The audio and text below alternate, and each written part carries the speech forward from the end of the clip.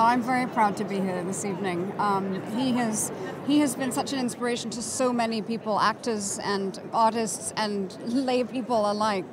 Um, he was he was tremendous when I worked with him, and 20 odd years ago. So I'm very happy to still be here, still be around.